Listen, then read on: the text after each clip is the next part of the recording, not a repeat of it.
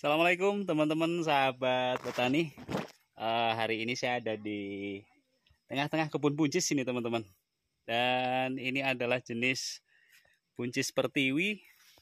Dan kebetulan hari ini lagi dipanen ini ya. Yuk kita lihat gimana uh, kondisi tanaman buncis pertiwi di daerah kami di Lampung Barat. Nah seperti inilah teman-teman kondisi tanaman buncis pertiwi.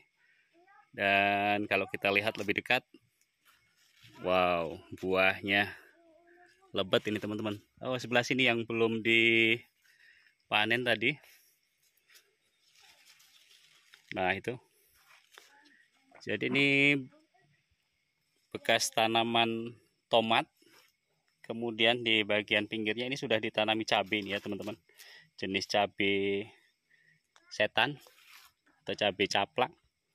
Dan lanjarannya ditanami dengan tanaman buncis pertiwi tinggi banget ini teman-teman. E, lebih dari 2 meter lanjarannya atau mungkin karena gulutannya yang tinggi. Tuh sampai ke pucuk ya. Buahnya sampai ke pucuk. Hebat sekali ya. Mantap teman-teman. Ya jadi buat teman-teman yang butuh rekomendasi tanaman buncis apa yang bagus untuk dibudidayakan nah, ini tanaman buncis pertiwi. Seperti inilah kondisinya.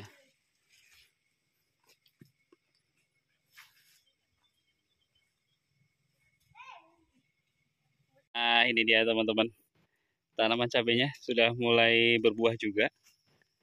Jadi nanti setelah habis tanaman buncisnya, ini nanti tinggal tersisa cabenya ini ya. Nah ini, buncis pertiwi tumpang sari cabe atau cabe tumpang sari ber, e, buncis ini ya. Tanaman cabe tumpang sari dengan buncis.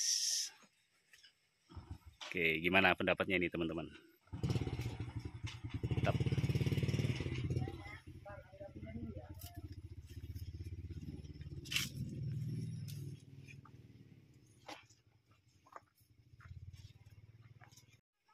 Nah ini lihat teman-teman. Uh mantep banget. Subur. Dan ini perawatannya juga tidak terlalu rumit ya. Sampai dengan panen mungkin hanya sekitar dua kali pengocoran saja. Biasa menggunakan uh, eh, NPK ya teman-teman ya. Uh, seperti inilah gambaran pertanian buncis di Lampung Barat dengan perawatan yang seadanya tapi ternyata hasilnya bisa seperti ini teman-teman.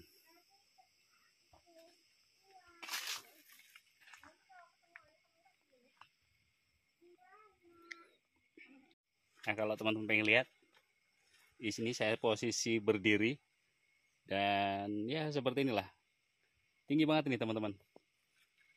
Lebih dari 2 meter ya tingginya